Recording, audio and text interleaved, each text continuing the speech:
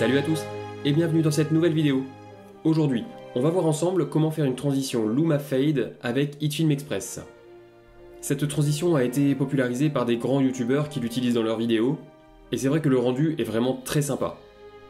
Alors, comme toutes les transitions, évidemment, il ne faut pas en abuser dans vos vidéos, mais utiliser par-ci par-là, ça peut vraiment améliorer le rendu final. Allez, c'est parti pour la vidéo.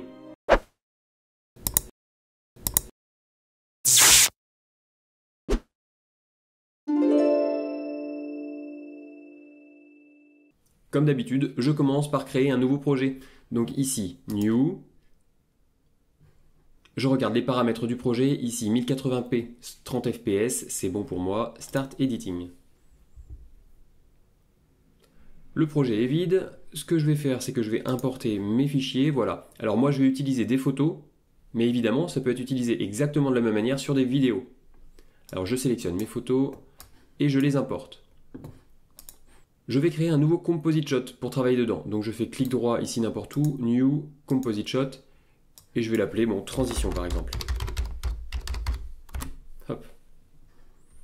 Dedans, je vais importer toutes mes photos. Alors hop, je clique sur la première, je maintiens majuscule appuyé, je clique sur la dernière et je fais glisser le tout dans le composite shot. Et maintenant, je vais pouvoir ajouter l'effet qui va faire la transition Luma Fade. Alors donc le Luma Fade, c'est en fait une transition qui utilise la luminance, c'est-à-dire la quantité de lumière, si on veut, qu'il y a dans l'image. Pour ça, il faut aller chercher l'effet qui s'appelle Luminance Key. Voilà. Je sélectionne, je fais glisser sur ma première image ici, voilà, et vous voyez qu'ici, ça a déjà fait disparaître une partie de l'image.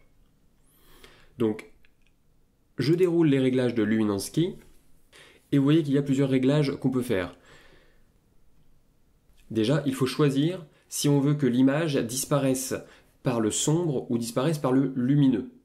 Ici, j'ai Key Out Darker, donc ça veut dire que le sombre a commencé à disparaître et laisse apparaître la, vidéo d'en dessous, enfin la photo d'en dessous. Si par contre je change avec Key Out Brighter, c'est l'inverse. C'est toute la partie plus claire de l'image qui disparaît pour laisser apparaître la photo qui est en dessous. Je vais faire le key out brighter pour ma part, mais libre à vous de changer ça comme vous voulez. Alors ce que je vais faire c'est que au départ je vais laisser un petit peu de temps à mon image. Euh, peut-être pas une seconde quand même. Ah si aussi, allez.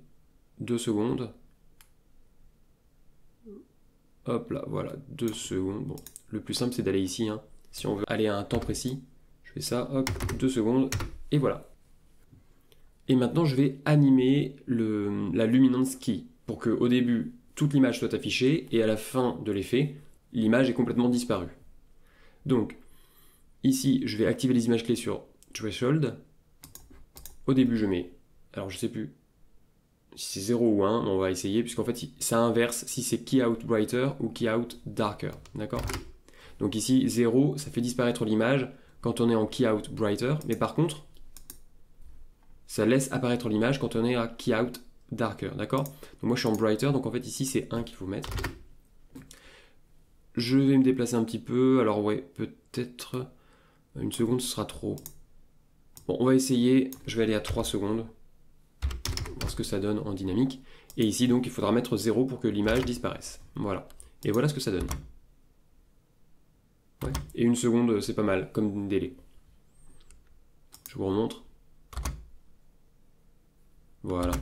Maintenant que j'ai réglé l'effet sur la première image, eh ben je vais le dupliquer. Donc ici, je prends Luminance Key, je fais CTRL-C. Ici, je sélectionne, je fais CTRL-V. Pareil ici, CTRL-V. Pareil, CTRL-V. Et pareil, CTRL-V. Maintenant, il va falloir modifier ici le temps, euh, enfin l'endroit où sont placés les, keyframes pour les autres. Donc ici, Luminance Key pour l'image 2, hop, je vais le décaler dans le temps. Donc ici, on est à... Euh, 3 secondes. Donc ce que je vais faire, c'est que je vais aller à 5 secondes. Pour laisser 2 secondes aussi. Voilà. Je prends les images clés, je les décale. Ensuite, celui-là, il y a une seconde d'effet plus 2 secondes, ça va faire 8. À peu près ici, hein, c'est pas non plus à l'image près. Hop, comme ça. Là, celle-ci, donc 8 plus 3, 11.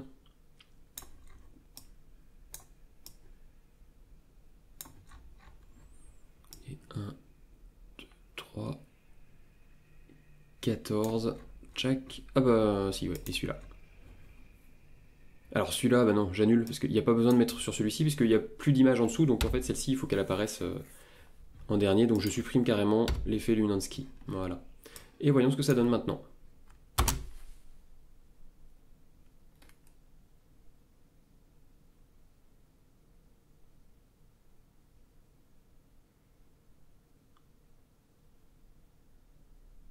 Et voilà. Bon, bah c'est plutôt pas mal. Je vous montre une dernière chose qu'on peut faire avec ça.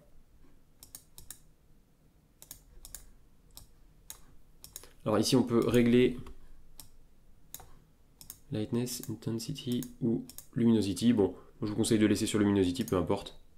Ça change un petit peu la manière dont est gérée la, transition. On peut changer la tolérance ici pour, euh, pour faire un petit peu de fondu.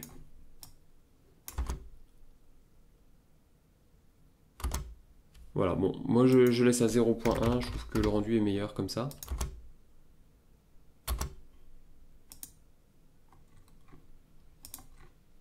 En plus, c'est pas 0.1, c'est 0.01. Voilà. Ok.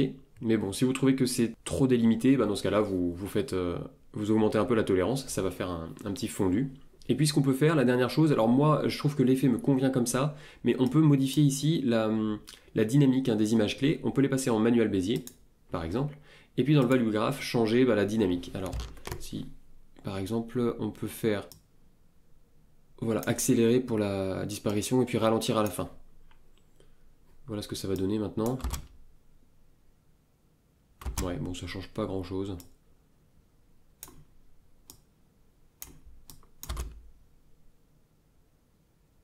Ou au contraire, on peut accélérer au début et ralentir à la fin.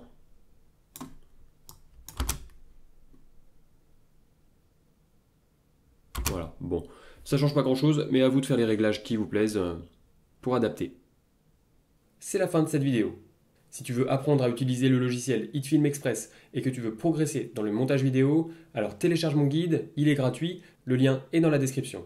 Et surtout, abonne-toi à la chaîne, il y a d'autres vidéos à venir. Je te dis à très vite, ciao